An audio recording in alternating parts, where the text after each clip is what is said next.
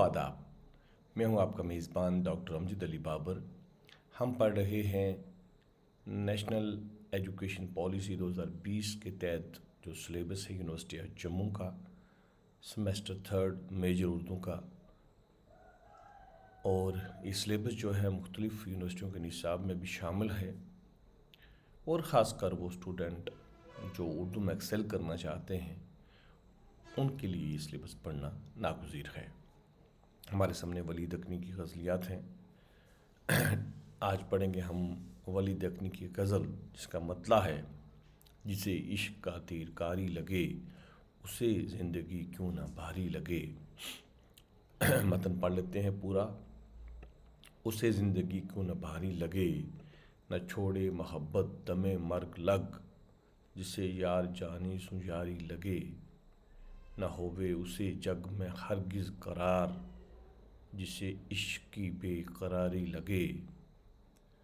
हर एक वक्त मुझ आशिक जार प्यारे तेरी बात प्यारी लगे। वली सुं, कहे तू अगर एक बचन रकीबा के दिल में कटारी लगे। अब देखिए कि इस, में भी इश्क पे ज़्यादा बात हुई है, मोहब्बत पे बात हुई है। इसको हम गज़ल मसलसल कह सकते हैं और आप जान चुके हैं कि गज़ल मसलसल हम किसको कहते हैं। इसमें एक असाइनमेंट मैं आपको देता हूँ इस गज़ल में कि इस गज़ल में कौन कौन से कवाफ़ी इस्तेमाल हुए हैं और रदीफ़ इसकी क्या है, वो आप चैट बॉक्स में लिखेंगे और कवाफ़ी के माने भी लिखेंगे।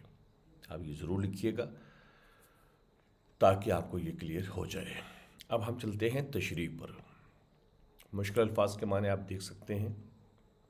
कारी लगे, यानी काम आ जाए, लग जाए, बेकरारी, बेचैनी, सू इस्तेमाल हुआ है लफ्ज़ इसमें, सू के माना हुआ से। आशिक ज़ार, यानी बेचैन आशिक, परेशान आशिक, बचन, हिंदी का लफ्ज़ है, जिसके माने होते हैं वादा।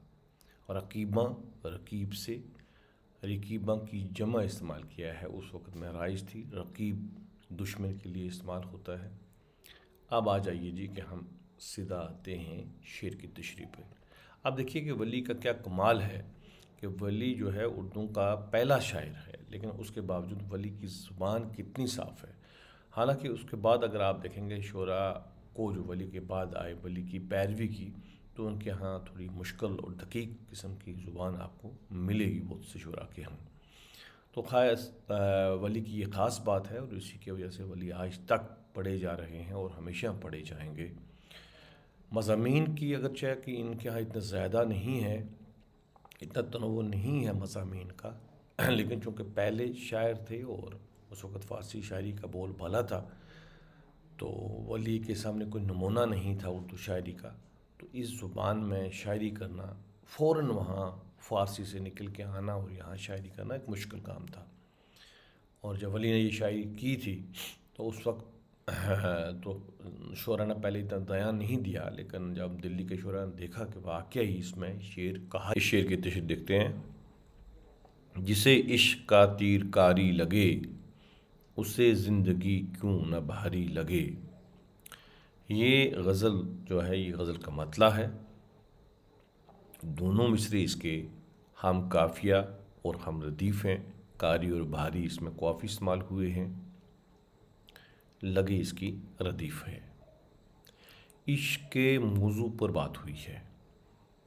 शायर कहता है कि जिसे इश्क का तीर कारी लग जाए तो उसको ज़िंदगी भारी हो जाती है। यानी उसके लिए ज़िंदगी मुश्किल हो जाती है। ये मैंने आपके लिए लिखी है मैं वही पढ़ रहा हूँ ताकि आप जब करें तो आसान रहे। फिर थोड़ी बात समझा भी दूँगा आपको। दूसरे मिसरे में इस्तफामिया लहजा की वजह से ज़्यादा ज़ोर से शायद ये कहने में कामयाब हुआ है कि जो इश्क में मुबतला हो जाता है उसके लिए ये ज़िंदगी जीना मुश्किल हो जाती है। इस्तफामी लहजा हुआ कि हम सवाल करते हैं जब किसी को आ, किसी बात पे तो उस पर हम ज़ोर देते हैं। मसलन हम किसी को ये कहना होता है कि तूने वहाँ जाना चाहिए था तो हम उसको बोलेंगे क्या आप वहाँ नहीं गए? यानी अगर हम किसी को ये कहना चाहे अपने छोटे बहन भाई को कि आपको स्कूल जाना चाहिए था तो उसको हम ये बोलेंगे, कि आप स्कूल नहीं गए तो इस तरह से सवालिया से ये बात बनती है। दूसरे मिसरे आप देखिए, क्यों ना भारी लगे? क्यों? सवालिया है कि उसे ज़िंदगी क्यों ना भारी लगे? अगर किसी को इश्क हो जाए तो फिर उसको ज़िंदगी भारी लगेगी। भारी से मुराद ये है कि वो फिर इस दुनिया में रहना नहीं चाहेगा, वो हर वक्त इश्क में ही मुलवस रहेगा। और एक आशिक जो है, उसके लिए ज़िंदगी देना या अपनी जान निछावर करना कोई बड़ी बात नहीं होती है। एक आम सा कौल भी है कि इश्क और जंग में सब कुछ जायज़ होता है। दूसरा शेर देखिए, न छोड़े मोहब्बत, दमे मर्ग, लग, जिसे यार जानी सु यारी लगे। यार यानी दोस्त, यार जानी यानी जान जैसा। यार सु से के माने में इस्तेमाल हुआ है। मर्ग मौत के लिए कहते हैं, यानी मौत के वक्त तक, मौत की दम तक, मौत आने तक। इसमें भी मोहब्बत का मजमून बयान हुआ है इस शेर में, कि मोहब्बत उसको मौत के वक्त तक नहीं छोड़ती, जिसको एक बार किसी से हो जाए। यार जानी, यानी अपना महबूब, दोस्त, यार, यारी से मरा दोस्ती, इश्क, मोहब्बत वगैरह वगैरह, ये सब चीज़ें हैं। तो गोया, इसमें भी दोस्ती और यारी के हवाले से वली बात करते हैं कि ये फिर इंसान को मरते दम तक नहीं छोड़ती। अब ये इश्क की कैफियत बताई है वली ने उस दौर में। और शायद आज कितनी, किस हद तक सच है, इस पे बात हो सकती है, मज़ीद गुफ्तु हो सकती है। लेकिन एक दौर में लोग बड़े सादा थे और बड़े साफ़ और सच्चे थे। जब किसी के साथ दोस्ती हो जाती थी तो वो दोस्ती भी निभाते थे, आखिर दम तक। अब तो लोग दोस्त तब्दील भी कर लेते हैं। बहरहाल हम चलते हैं अगले शेर पर। न होवे उसे जग में हरगिज़ करार, जिसे इश्क की बेकरारी लगे। अब देखिएगा कि हर शेर में इश्क की बात हुई है तो गज़ल मसलसल आपको मैं ये भी कह दूँ कि गज़ल मसलसल किसको कहते हैं? चैट बॉक्स में एक लाइन में इसका जवाब ज़रूर दीजिएगा।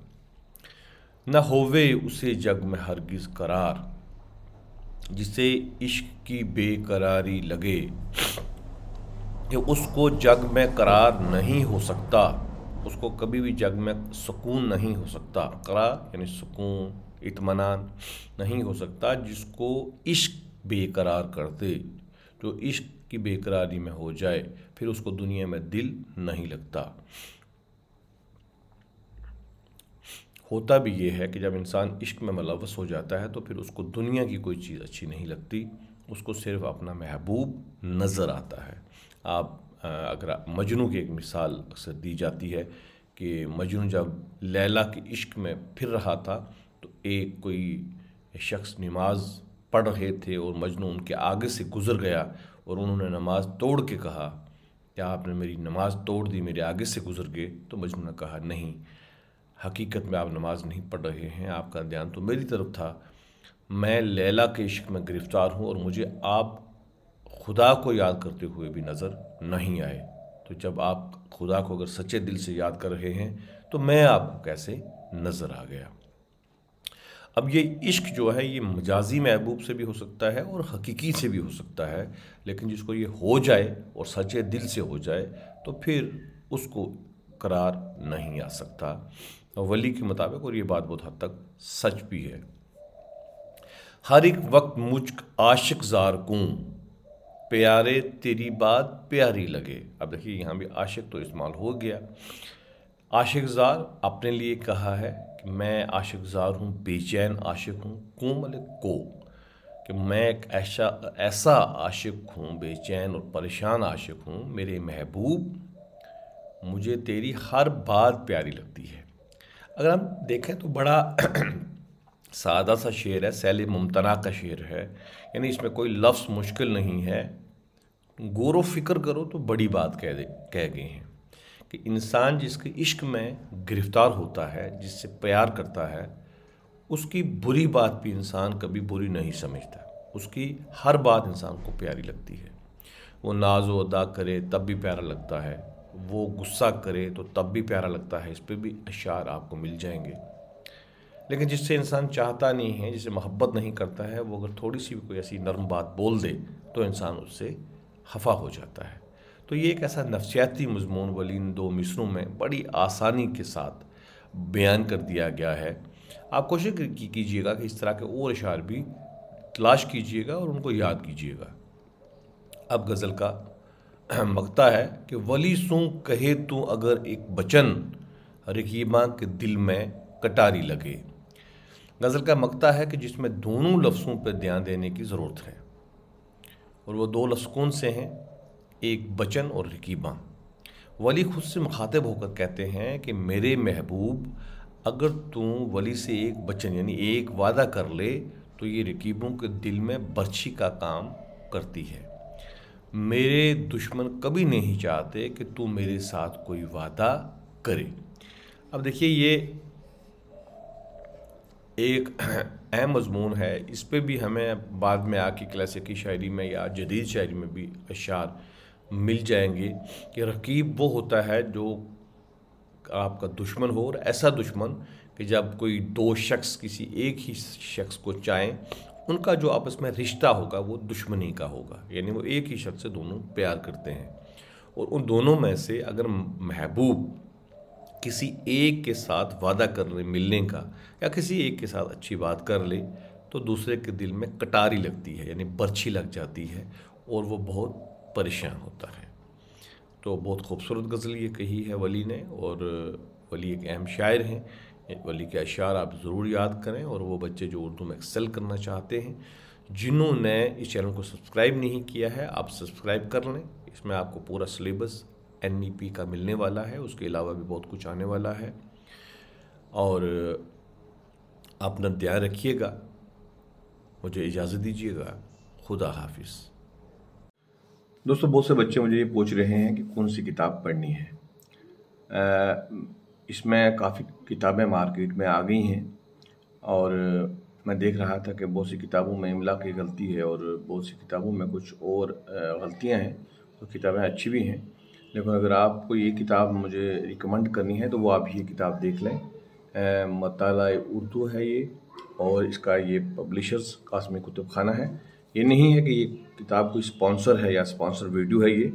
बहरहाल ये मुझे बेहतर लगी है और इसमें जो निसाब है वो मेजर उर्दू का दोनों पेपर का, सेमेस्टर थर्ड की अगर मैं बात करूँ, और बाकी इंटर एबिलिटी इन्हेंसमेंट का इसमें है, और साथ में ही मल्टी डिसिप्लिनरी को भी इसने कवर किया है, और जो दूसरी सेमेस्टर्स की किताबें भी हैं, वो आप ये मताल उर्दू ले सकते हैं इसमें कम गलतियाँ हैं, और साथ में आप रेफरेंस बुक और टेक्स्ट बुक ज़रूर पढ़िएगा। अगर आप उर्दू में एक्सेल करना चाहते हैं।